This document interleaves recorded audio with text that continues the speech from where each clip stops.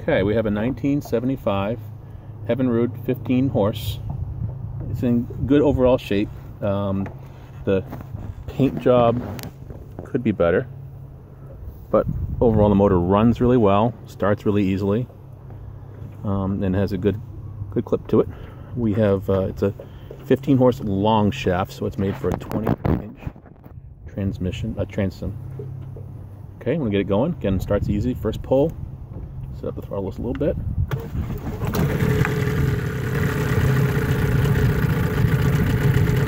Idles well. Reverse.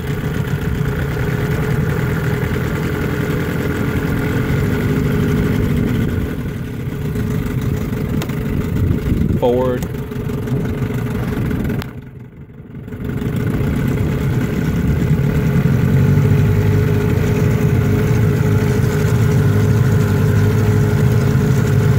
Idles down really good. It has good get up.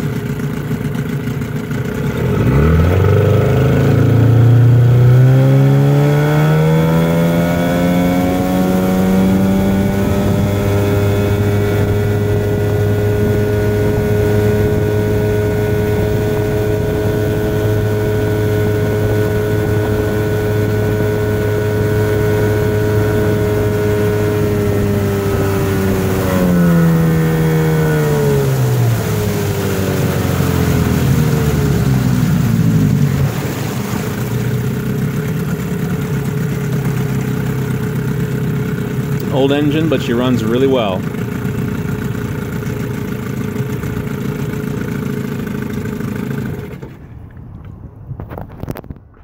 And if you have any questions, just email me.